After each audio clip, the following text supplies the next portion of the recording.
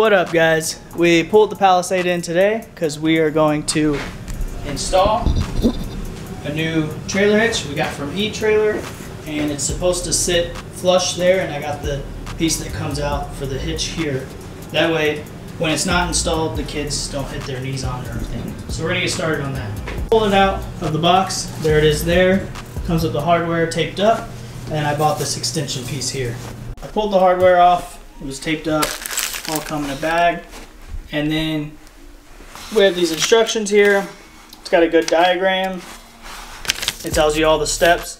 It even tells you the size socket you need for your spare tire and the bolts and everything. So that's pretty cool. I've read some people flip a certain bolt. That way it fits in between the frame rails in there. So we'll see when we get there what gonna do. Okay, don't mind the mess. We went on a road trip.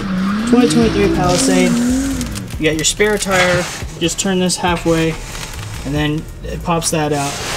I believe you loosen this. It's a 21 millimeter. And you loosen it and I believe it lowers the spare tire, but we're gonna find out right now. Okay, so unfortunately I did not record that. My son was up there ratcheting while I was down here and basically when you turn that counterclockwise it lowers this cable lowers the cable out of this little motor here and then I lifted the tire up and turned this sideways to get it off the cable. So going back on I'll probably lower it some more so I can put it on. But really simple. Okay now on the driver's side wants you to pop out these body panels to get this tray out of the way. Pop one. Looks like there's three of them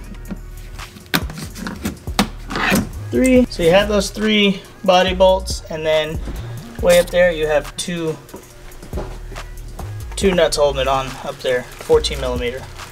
All right so this part is probably the hardest part about the job. Taking off these rubber exhaust mounts i suggest taking them off from the car side because these uh, nipples or flares are bigger than the car side, so I was able to get those off.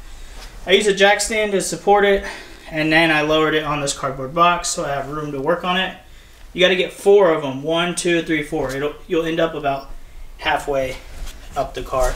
So we got one there, two up there on the right. You can see right there. Uh, three is right there, and there's the exhaust side. And then four is actually going to be about halfway up your car. Right, oh, I can see right there. And that one was pretty difficult to get off. All right, with that being said, it is time to install the hitch onto the car. Uh, we're just to hold it in place, put the bolts and nuts through, and see uh, how it hooks up. All right. Let's do this. Up. Okay. And then, all right, put that bolt through that hole. Through this hole. This? Yep. Do you see that hole right there? Yeah. Right there. Put it through that hole. Push. Push. There we go. It's not gonna work. Okay. Shoot. I got it stuck. Ah, dang it. Ah. Oh. Ah, there we go. Ready, tighty. Lefty loosey.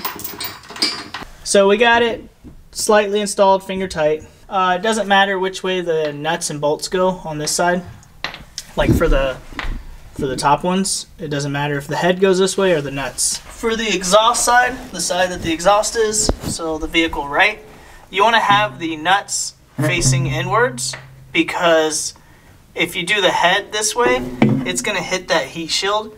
And I've seen install videos or not install videos, I've seen write-ups saying you have to cut a little bit of this heat shield out of the way so you can get the head in. But if you just install it backwards, uh, it'll work. You just have to uh, only push a little bit of threads in. Uh, you just push it through a little bit where you see a little bit of the threads and you put the washer on and then you tighten the nut because if you can see if I push it out any further, that nut actually hits the heat shield.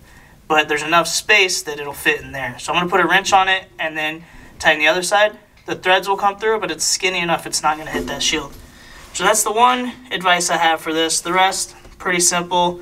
Honestly, the exhaust is the hardest. So I'm going to finish tightening those up.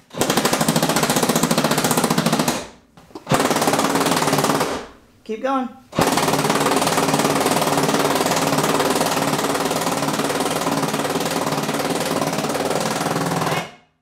Now that's got to be one of the coolest spare tire things. I haven't had vehicles with spare tires, so maybe they're all like that now. But super cool, super fun.